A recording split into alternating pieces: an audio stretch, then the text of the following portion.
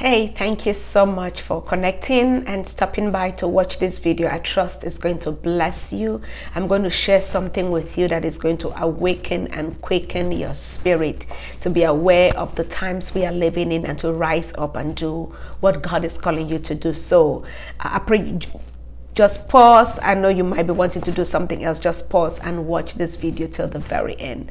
I promise it to change your life. I promise it to transform you uh, several years ago, I had this dream. And I know it wasn't, there are some dreams you have that are ordinary dreams. But there are other dreams that you have, you know, that they are revelations that God is giving you. God is trying to communicate something to you. And this was one of those prophetic dreams that God gave me. And in the dream, uh, something was happening that was so significant. And the reason why I'm sharing this is because last week, as I prepared to preach God's word to our church, God reminded me of that dream and told me that this is the times we are living, that what I showed you decades ago, it's still relevant today. And so let me let me just go ahead and tell you what the dream was all about. In the dream, it's like we were getting ready for war and we had two armies. One army was dressed, they were ready, they were in their uniforms, they had their weapons, they were standing um, uh, on the lines, like everybody was in their rank. You couldn't even see a twisted rank. Everyone was on the line, straight lines, uniforms, everything to match their weapons ready. It's almost like they were just waiting for a command. And when the command was given, they were ready to go forth and start fighting. And on the other side, I was trying to see, okay, where is the opposing army that's supposed to fight with this um, um, army that is already set? Where is the opposing army? And as I turned to the other side, I realized that they were not even ready for fight. They didn't. They were not even aware of what was happening. You had people who were like in trucks, uh, just chit chatting. We had people who were shopping. You had. It, it was just like chaos and destruction. People were just doing different things and they were not aware of the times, they were not aware of the season, they were not aware of the war that was imminent, that was so close to their nostrils. And guess what? The army that was ready, equipped in their ranks was the, uh, the enemy's army, the devil's uh, army, in other words. But the army that was distracted, scattered, not paying attention was the Christians. It was the church represented the church, represented the believers. And immediately when I saw that and I saw the distraction that was happening among the Christians, everybody just about their own business, just going back and forth, just distracted, I started like shouting. And I started trying to call people's attention. There were some of the people that I knew and and I didn't know everybody. So I started calling people's attention and calling their names and calling them, come on, let's get ready. We have to train. We have to be on our ranks. The enemy is ready. His army is set. They are just waiting for the command. And then the battle will start.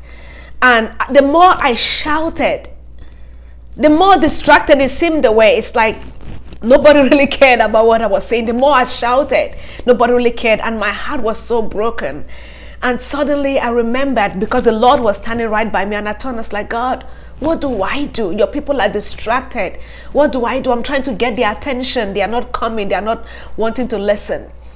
And something the Lord told me that uh, shaped and that has changed me so powerfully is He said, You can't get their attention by shouting at them. You can't get their attention by trying to call them in the natural to come. And then He told me, Go and start praying. He says, start praying for them in the spirit.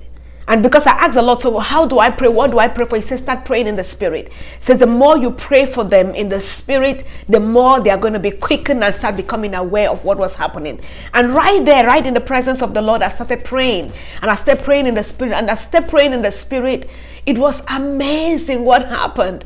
It's like as I started praying, it's almost like people were becoming conscious. There was like an awareness, a consciousness of the times that they were in, of the, the eminence of the battle that was coming. It's like people started becoming aware one after the other. It wasn't like everybody became aware at the same time, but one after the other. People were like waking up from the slumber, waking up from the distraction, getting up from where they were. And it's like little by little, this army started forming, and I was excited. And the Lord told me, Keep praying. And then I woke up. And I was like, God, what is this? What are you trying to tell me?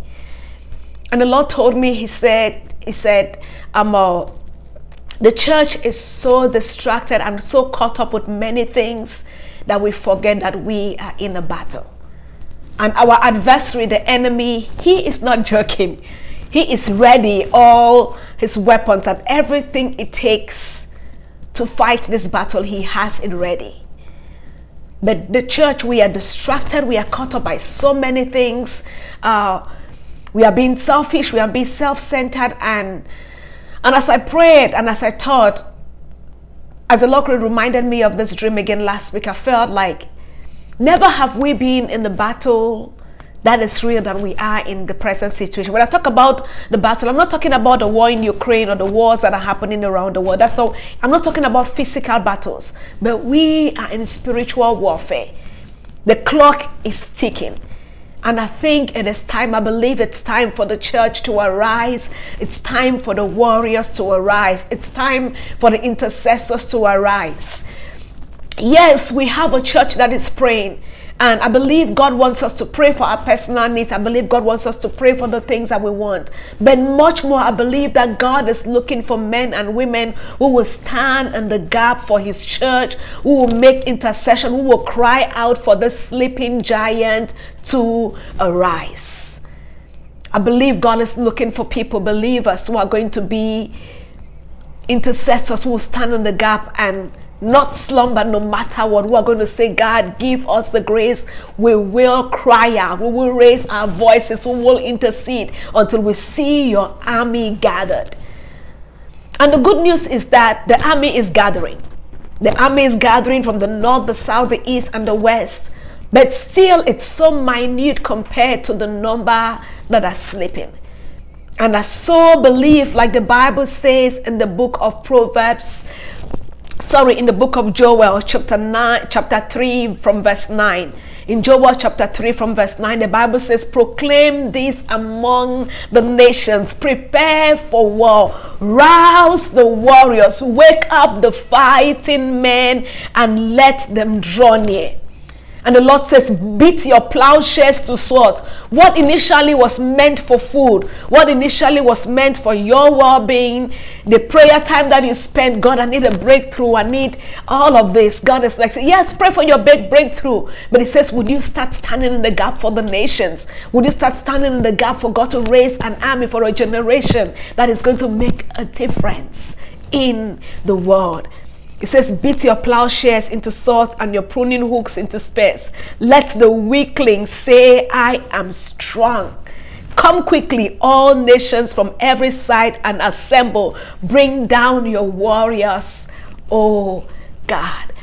I believe that God is calling the warriors to arise.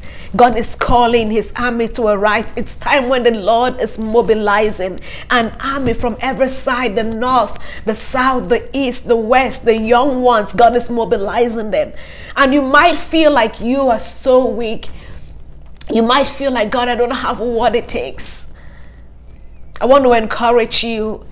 You don't really have to have much, you need the willingness of heart and you will be amazed by what God does. Why do I say that? As I was preparing to share this, these two scriptures came to my mind. The first one is in First Samuel chapter 22, verse 2. The Bible says, And all that were in distress and oppressed with death and under affliction gathered themselves unto him, talking about unto David. And he became their prince and there were with him about 400 men. So this is David when he has fled from Saul and a few people followed him. The Bible says about 400. But a few people that follow him, it's incredible the description that the scripture tells us about those people. They were oppressed, they were in distress, they were indebted, they were under affliction. Those were the kind of people who followed David. But when you look at the book of Chronicles, when you read through Chronicles chapter 12 and chapter 13, and you see the characteristics of each of these men, and women who had followed David, who were initially they were poor, initially they were weak, initially they were indebted. But if you look at the book of Chronicles, it's a whole different story. They had become the the Bible calls them the mighty men of David. And Second Chronicles chapter 12, the last verse, verse 38 says, All these men of war who could keep ranks came to Hebron with a loyal heart to make David king over Israel. And the, sorry, and all of Israel to make David king over all of Israel, and the rest of Israel were of one mind to make David king. And we, we are not wanting to make, we are not, we are not interceding. Uh, David's time is over. Now we are wanting to make Jesus king over the nations. We want to see him exalted as King of Kings, as Lord of Lords, over every tribe, over every tongue, over every nation. We want to see Jesus exalted as King of Kings over the children, over the teenagers, over the youth, over the adults, over the elderly, over people from every race the whites, the black, the, the, the Hispanics. We want to see Jesus exalted and crowned King. But what God is looking for, just like David, it's not the strong, it's the willing. The willing men and women came to David indebted in difficult situation, but as they came to David, he was able to train them to become a mighty man who defeated and conquered over and over again. Their exploits are countless. And I strongly believe that the reason why the Lord showed me that revelation is because He's waking and rousing up again mighty men and women. Would you arise? Would you start in this season? And, and as the Lord showed me in the revelation that you can't you can't you can't call the mighty men just by talking. You can't talk people to wake up. Some of these mighty men, they are still living in sin. They don't even have a relationship with Jesus yet. It's not just about the natural talking, but what if we start gathering together as God's people? Or what if in your closet you start saying, God, I'm going to just intercede one hour a day for this army? Yes, I'm going to pray for my needs, but just one hour a day, I'm going to pray in the spirit for the church to start arising. I'm going to pray in the spirit for the army that is still, those who are still lost, have not come to a relationship, who are part of this army, for them to start being quickened. Would you join me and let's do that together? Because an army is rising and we will be unstoppable. It's going to be an unstoppable army. It's going to be an army that is going to take territories for Christ. But that is only possible when we who are the church will arise and make intercession for this army. Someone will just pray together for us, for you was watching, that we will all arise. Would you pray with me? Father, we thank you.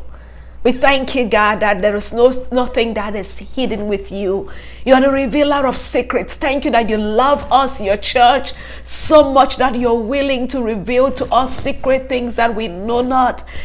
And so, Father, I pray for myself, for your church, for this army that you're raising, that you would quicken us from the inside in the name of Jesus. I call forth the weak ones. I call for the feeble ones. I call for those who have who have stumbled. I call for those those who are being distracted. I call you forth from out of your sleeping places. I command you to arise, O warrior, in the name of Jesus. I call you forth out of the place of slumber. I call you forth out from every distraction. I break the spirit of distraction from off your life and I call you to arise and take your place in this end time. In the name of Jesus, I call the army to arise. I call the army to arise. Like the Bible says, let the weak say, I am strong. I declare to those who are weak, I speak strength to you. To those who feel down, I speak